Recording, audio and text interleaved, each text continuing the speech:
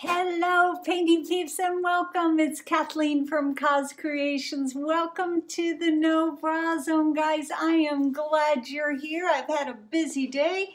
I put my Christmas tree up. I'll post a picture because I'm proud of it. A lot of handmade ornaments on there. Why is my tree up so early for all you haters out there? Rick and I are getting ready to head to Asheville for a couple of weeks and uh, when we come back, we um, we wanted the tree up. So we did it early. At least I did it early. Rick frowned at me, but at the same time, he was putting Christmas music on for me to listen to. So I am grateful for that. We're doing a painting today. I, this is a reused canvas. I think it's a uh, 18 by 30, maybe an 18 by 40. I don't know. This was a painting I did day before yesterday. And um, because I did not do it with a lot of intent. Well, I initially started off doing with a lot of intent and it didn't work out and um, that's okay. I learn as much from my mistakes, if not more, as my uh, successes. So we're going to give it another go. I mentioned that I had a pillow in mind for our sofa and I wanted a piece of art with those colors in it. And um, I'm giving this another go. I am going to be doing a multicolored base coat. We are using Artist Loft Black, we are using Rust-Oleum Metallics. This is their Copper Penny, and this is a really pretty, pretty color.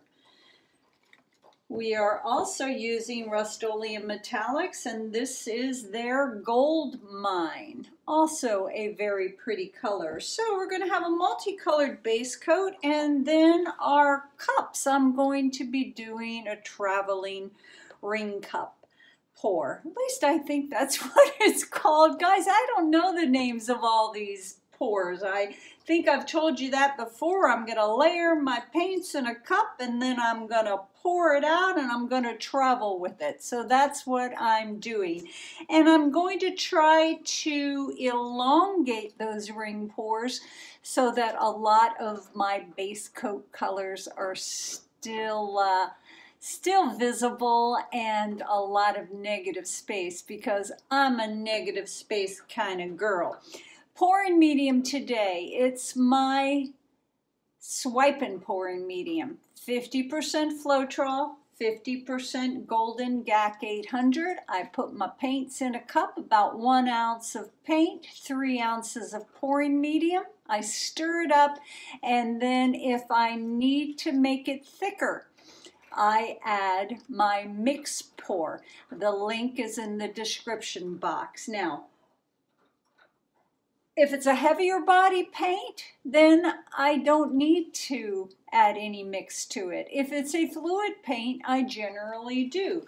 Like this paint right here. This paint is Golden Fluid Acrylics, and that is the turquoise. Now, this was a little bit too in-your-face turquoise for what I'm looking for. So what I added to this, these two cups as well is this beautiful paint by Pourage Posse, and this is Shelli's Masquerade Shimmer. And what that did, it toned down the bossy turquoise a little bit for me. So we're just fiddling with these paints, trying to get them to the exact color that we want playing a little bit of mad scientist. And that's what's in these two cups. In this cup right here is more of the Rust-Oleum Metallics Copper Penny.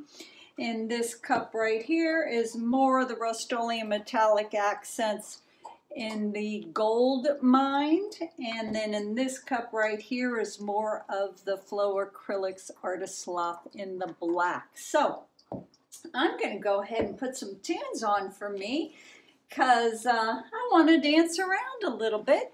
I'm going to put some tunes on for you that will hopefully make you tap your toe and we're gonna get busy painting. Glad you're here guys.